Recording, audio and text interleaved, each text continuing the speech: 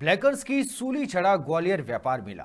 ग्वालियर उत्तर भारत के बड़े मेलों में से एक ग्वालियर व्यापार मेला शुरू हो चुका है। दो महीने तक चलने वाला व्यापार मेला ब्लैकर्स की सूली चढ़ चुका है।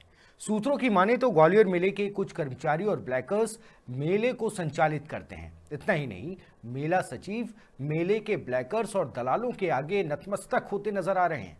वहीं जब इस पूरे मामले की पड़ताल करने के लिए आरटीआई आवेदन लगाए जाते हैं तो मेला प्राधिकरण आरटीआई का जवाब देने से पीछे हट जाते हैं। मेले की अनियमितताओं की पूरी जानकारी मेला सचिव को भी है। मेले में अनियमितताओं और आरटीआई मामले को लेकर मेला सचिव से भी बातचीत की गई। आइए सुनते हैं मेला सचिव ने क्या कुछ कहा। अपनी जो मतलब जो भी आई लगाई जाती है उसमें जितने पेज की आवश्यकता होती है हम्म। उसके हिसाब से पत्र जारी किया जाता है। हम्म। और उसको राशि जमा होने के बाद फिर आर की जानकारी उपलब्ध कराई जाती है। हम्म। तो जो भी पत्र प्राप्त हुए हैं हमारी जानकारी में पत्र जारी किए गए हैं।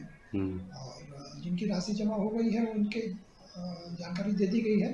फिर भी यदि ऐसा कोई पर्टिकुलर केस है यदि आप कोई पर्टिकुलर डेट का बता रहे हैं। अट्ठाईस तीन अट्ठाईस एक, हाँ, तो एक साल।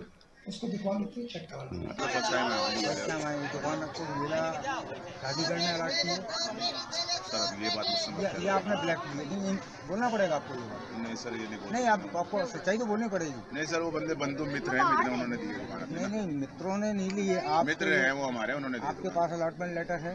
सर है अलॉटमेंट लेटर दिखाइए मित्र हैं वो हमारे पास मित्र हैं हमारे उन्होंने अपनी दुकान में ग्वालियर से संवाददाता योगेश बिसारिया की रिपोर्ट।